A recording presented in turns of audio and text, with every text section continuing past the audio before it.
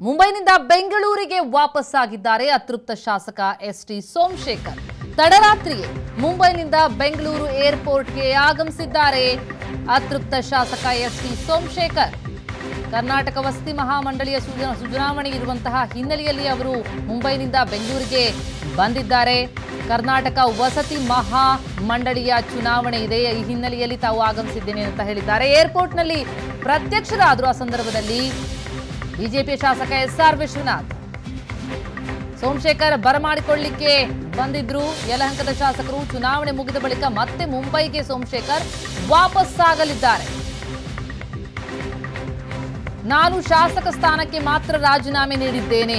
ಆದರೆ ಪಕ್ಷವನ್ನ ಬಿಟ್ಟು ಹೋಗೋದಿಲ್ಲ ಅಂತ ಈ ಸಂದರ್ಭದಲ್ಲಿ ಸ್ಪಷ್ಟವಾಗಿ ನುಡಿದಿದ್ದಾರೆ ಸೋಮಶೇಖರ್. ಕೆಂಪೇಗೌಡ ವಿಮಾನ ನಿಲ್ದಾಣದಲ್ಲಿ ಅತೃಪ್ತ ಶಾಸಕ ಸೋಮಶೇಖರ್ ಈ ಹೇಳಿಕೆಯನ್ನ ನೀಡಿದ್ದಾರೆ. ಮುಂಬೈನಿಂದ ಅವರು ಬೆಂಗಳೂರಿಗೆ ತಡರಾತ್ರಿಯೇ ಬಂದ್ರು ಆ ದೃಶ್ಯಗಳನ್ನ ನೋಡ್ತಾ ಇದ್ದೀರಿ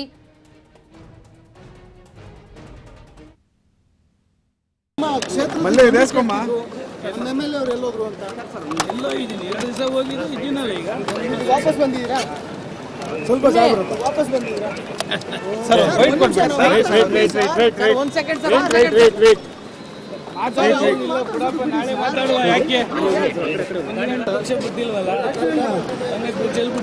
ಇಲ್ಲೇ ಇರ್ತೀರಾ?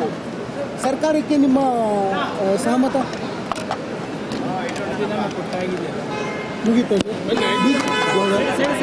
ಸರ್ ಅಂತಿಮ ಪಕ್ಷದಲ್ಲಿ ಇದ್ದೀನಿ.